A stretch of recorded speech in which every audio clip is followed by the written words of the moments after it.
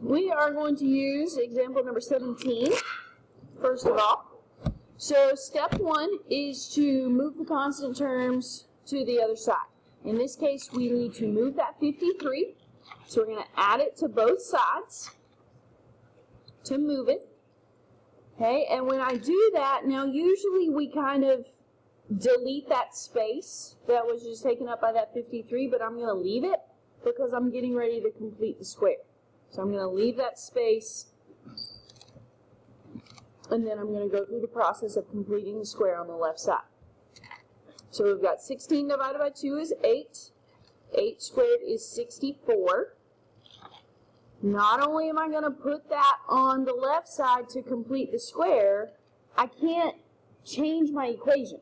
Okay, so if I add 64 to the right side, then to prevent from changing my equation, I have to add 64 to the right side as well. So we're not changing the equation, we're just writing it in a form that's more useful to us because now we have a perfect square trinomial on the left side. Technically, at this point, I could subtract 64 from both sides, and then I've got what I started with. Okay? So, um, I'm going to factor the left side. We've got a minus 8 squared is the left side, and then I'm going to add those constants on the right side, so that's uh, 117.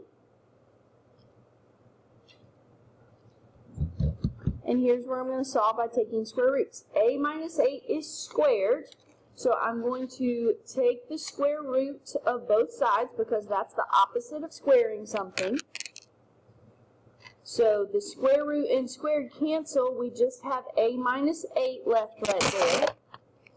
Now, it would be great if 117 was a perfect square. It is not, and I really don't think it's divisible by a perfect square, but we should probably check.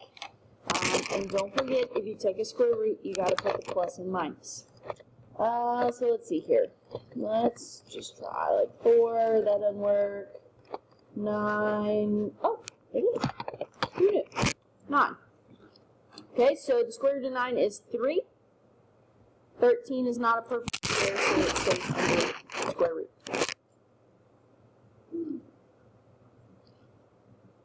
Okay, last step, the purpose of this is we're solving for the variable.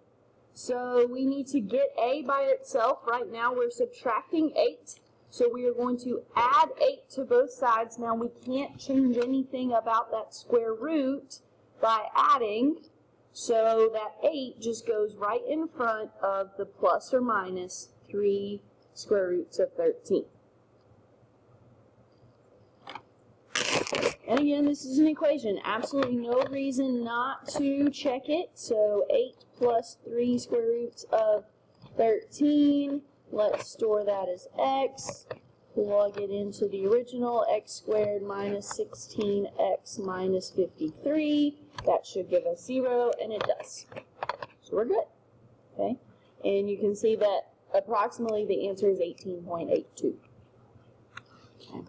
If you were curious, one of the answers. I didn't do the negative. But if the positive one works, then the negative one's going to work. Um, or the subtraction. It may not necessarily be negative. Okay? Let's do another one before I turn you loose. Let's look at 18. Okay. We've got to move the constant to the other side. There's already a constant there, but that's okay. So we're going to add the 94 to move it over. k squared minus 18k, leave our space.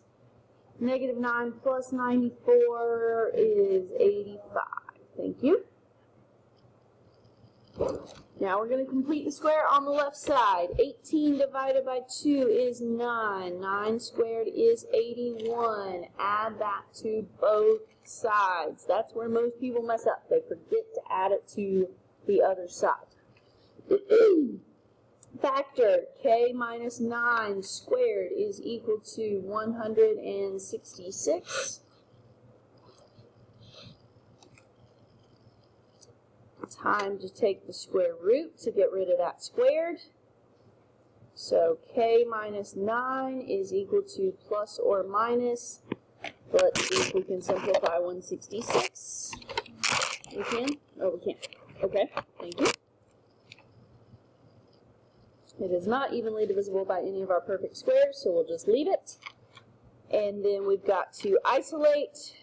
So we add 9 to both sides. So we get k is equal to 9 plus or minus the square root of 166. Now, I'm pretty confident in our arithmetic there, so I'm not going to worry about checking it. Okay. Um, one note, I wish I had thought about this when I was doing the examples here. When you get to the very end, if this had been k plus 9, okay, if this had been k plus 9, we have to subtract. So this would be a negative 9 plus or minus the square root.